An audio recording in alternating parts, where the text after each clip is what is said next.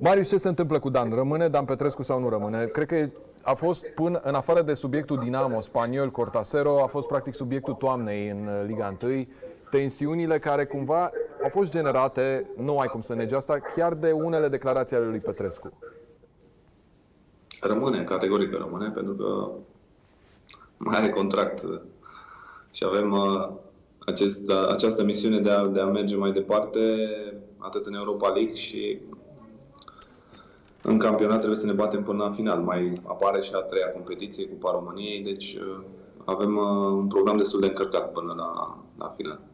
Dar la cum îl cunoști tu ce s-a întâmplat cu el? Că a fost totuși o perioadă delicată și antrenorii au perioade de astea delicate din când în când în cariera lor.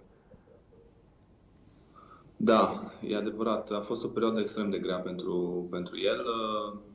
S-a repetat, de fapt, perioada de anul trecut, doar că cred eu, cele declarații pe care le-a făcut au fost făcute într-un moment în care efectiv era epuizat.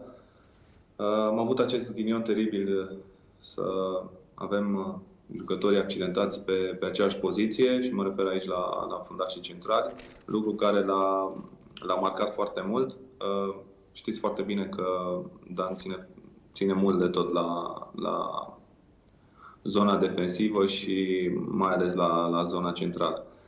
Jucători importanți care n-am putut să-i, să-i folosim, au venit și aceste rezultate mai puțin bune uh, și cred eu că consumul mare pe care psihic mă refer l-a avut, uh, cred eu că acele generații, uh, declarații au putut fi interpretate.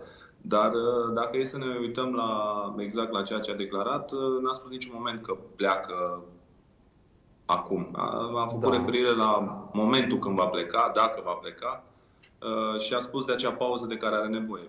Probabil că exprimarea n-a fost una tocmai fericită și a născut uh, foarte multe interpretări. Dar vreau să te întreb cât ai lucrat cu el ca jucător. L-ai văzut vreodată atât de tensionat cum a fost în perioada asta? Nu. Niciodată? Niciodată. Niciodată. Oh. Nici când am jucat cu titlul pe masă n-a fost... Uh, n-a fost așa?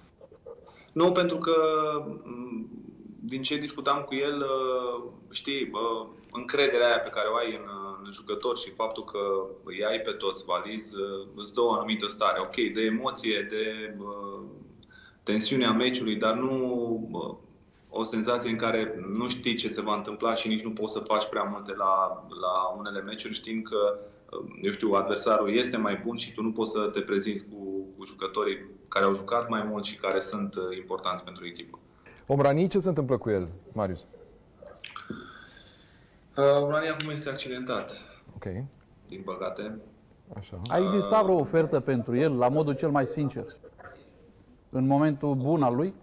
Au, au fost discuții care nu s-au ridicat la... Da, da, acum, fără...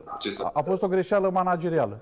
E bine să dai jucătorul când ai totuși o ofertă. Că uite... Dar cred că a zis că n-a, n-a fost concret, a n-a venit ofertă concretă. Nu, a concret fost discuții. a fost, dar n-a fost uh, pe măsura așteptărilor. Eu am înțeles că au fost discuții, dar nicio ofertă concretă.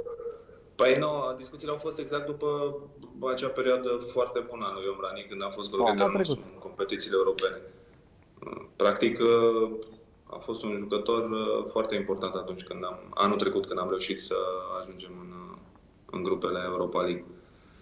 Iar uh, oferta n-a fost la nivelul a. lui în acel moment, pentru că el era pe un trend ascendent, avea deja o cotă formată și da, era greu să, să cobori sub. Și acum, ca să citesc din clasici, ați dat voi bani numai să scăpați de el. Numai că nu mai vrea nimeni. Hai să nu ne ascundem. Nu joacă nu nimic, e... Marius. Deci da, știu că da, ți-e greu. E, e într-un blocaj. Ești într-o situație dificilă, înțeleg, dar n-ai, nu joacă. Dacă nu joacă, ce să... A venit Rondon la 35 de ani, mănâncă iarba aia. Îmi place de mor de Rondon. Mm-hmm. Îmi place mi se pare Rondon că a pierdut niște ani din carieră și acum vrea să recupereze tot ce se mai poate. Da. Debeliu. Nu poți să spui că e un mare talent, că are un... Dar la fel, stilul, ce, croat, sârb, acolo. Da. Asta îmi place, tată. Mușcă din adversar, mușcă din iarbă, mușcă din pământ.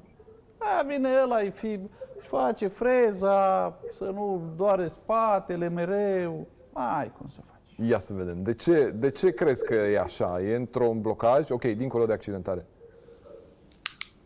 Da, da, chiar e un blocaj. Pentru un atacant este, să zic așa, o perioadă grea și bă, greu ieși din ea dacă nu, nu reușești să, să marchezi. Pentru că dacă ar fi marcat, ar fi, ar fi reușit să marcheze, cred eu că ar fi depășit această pasă neagră în care se, se află. Pentru că a avut evoluții, evoluțiile, să zic așa, nu au fost chiar așa slabe, dar în momentul când nu marchezi, e clar că lumea la un atacant se uită la goluri și la ceea ce face pe, pe teren. Nu știu, obține un penalti sau dă un assist. Atunci, pentru el, toate astea s-au acumulat în timp. Golul n-a venit și a intrat într-o, într-o pasă proastă. A avut și câteva ratări mari. Clar că n-a fost, să zic așa, perioada lui. Acum are o accidentare, a jucat, în, să zic așa, în ultimele meciuri în care a fost introdus tot, n-a fost la capacitate maximă tocmai din, din cauza acestei accidentări.